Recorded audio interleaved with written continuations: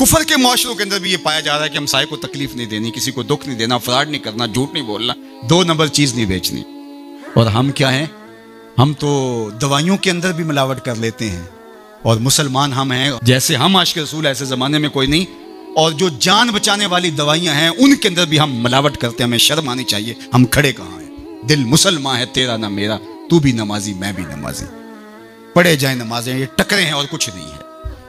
हमारा दीन हमको एक ऐसी पाकिजा ज़िंदगी गुजारने की तलकीन करता है। यार, हमारे सामने हुजूर का नक्शा हो, हमारे सामने हुजूर की तालीमात हो, इतना नूर बरस रहा हो उनकी सीरत के अनवार का, और फिर भी हम अपनी ज़िंदगी जो है, वो दुरुस्ती ना कर पाए तो फिर क्या सारी ज़िंदगी हम यही काम करते रहेंगे? सारी ज़िंदगी यही कहते रहेंगे कि झूठ नहीं बोलना, झूठ नहीं बोलना। कहते रहेंगे हम, इससे इनकार नहीं है। लेकिन कायनात को तस्खीर कैसे करेंगे जब इस मरहले से नहीं निकलेंगे? तो मेरी आरज़ू ये है कि देखो, मैंने अपनी कब्र में जाना है, आपने अपनी लहद में उतरना है।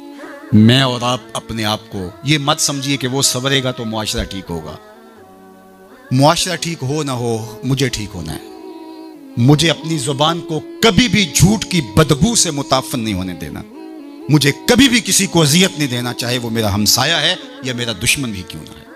मुझे किसी के लिए गलत नहीं सोचना है और किसी को नुकसान पहुँचाने की मनसूबाबंदी की दूर की बात है, वसवसा भी आए किसी को नुकसान पहुँचाने का तो उसकी भी नफी करनी है। क्योंकि मैं उस आका का गुलाम हूँ जो रहमत आलमीन है।